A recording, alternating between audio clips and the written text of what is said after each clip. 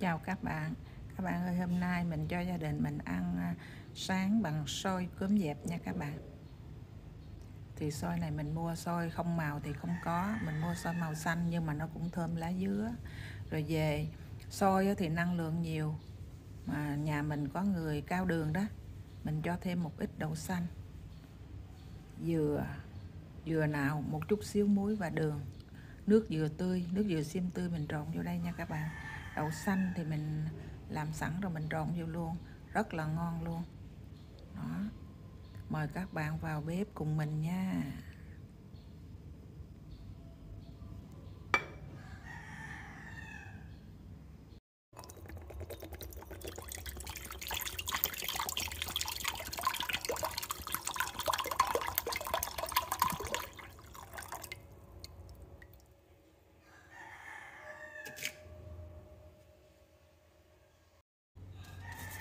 Thành phần của mình thì gồm có 300 gram à, nước nước ký giúp cái này khoảng nửa ký đi 400 gram à. mình mua mà mình quên 400 gram cốm dẹp các bạn.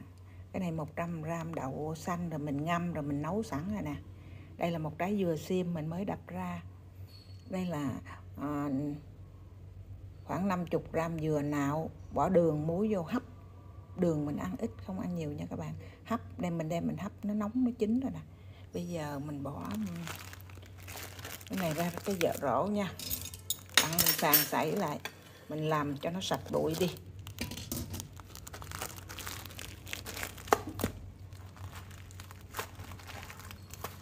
Bỏ ra đây. Rồi mình đem mình đem mình lựa nha các bạn.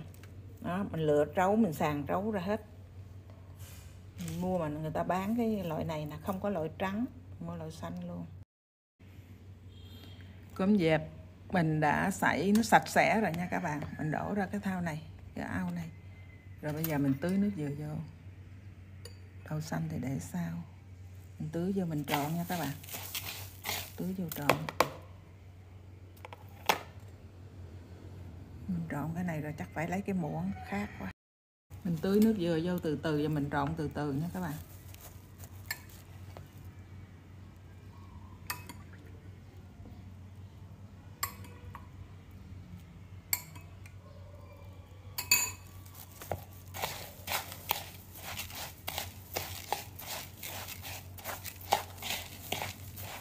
Cho nó nở ra.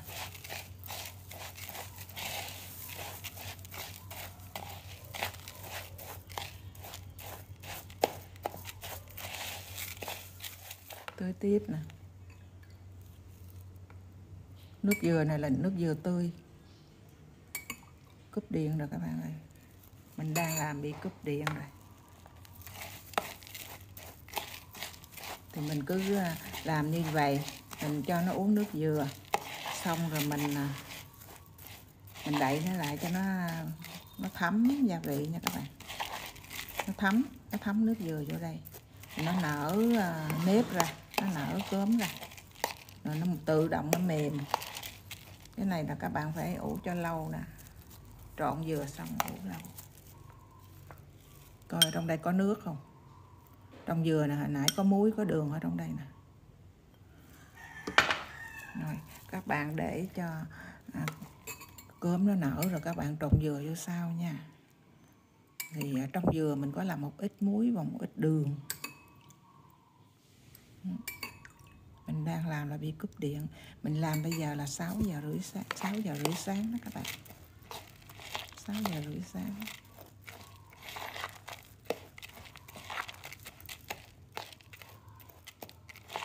Xin lỗi vì không đủ ánh sáng nha.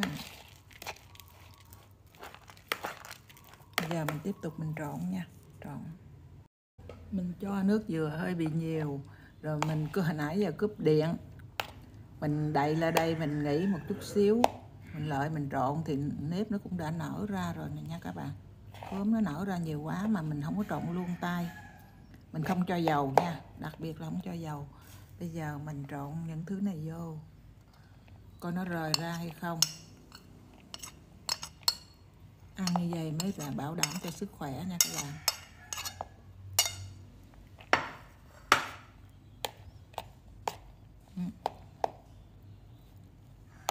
Nước dừa tươi mà trộn vô đây mình, hồi nãy thì nó đang khô lắm. Bây giờ thì nó nở ra quá rồi nó nó dính. Những lần đầu mình ăn mình không biết, mình đem đi hấp mà nó cũng dính là dữ lắm các bạn ơi. Còn mình thấy người Hà Nội người ta ăn, người ta có cho thêm dầu nhiều lắm, nó rời ra. Mình đặc biệt là không có ăn dầu đang làm cúp điện đầy là để đó à. nó hơi bời rời. Nó nó hơi đóng cục nha các bạn. Nó hơi nhão. Ừ. cho đậu xanh vô. Dừa vô. Trộn trở lại. Cho nó rời ra.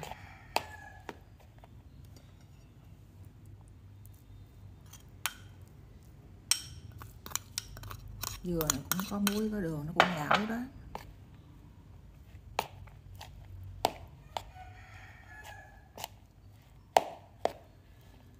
Trộn cho nó rời ra nha.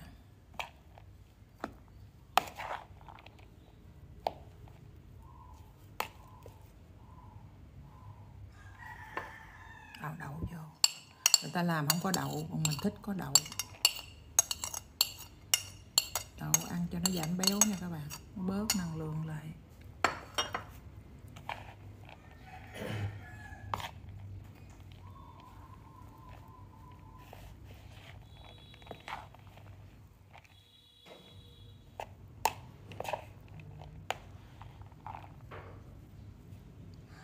Thất bại, keo này mình gầy, keo khác.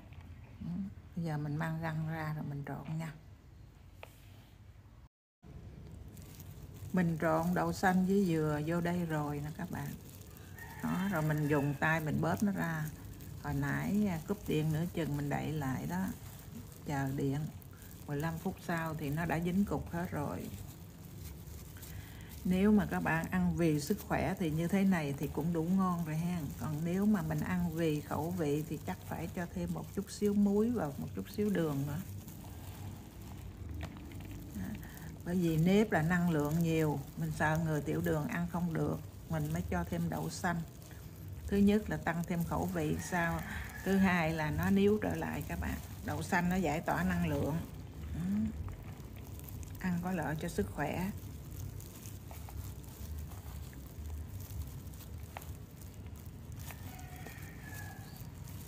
Rồi chúng ta đã sẵn sàng rồi đó. Rất là ngon nha các bạn. Rất là ngon. Dừa với đậu xanh một ít muối và một chút xíu đường thôi. Mình ăn nó nhạt nhạt à, không có ăn đường nhiều. Ừ. nếu mà các bạn đem ra bán hay là cho người khác thì chắc phải thêm một tí đường nữa mới ngon nha. Còn mình thì như vậy là đủ rồi được rồi.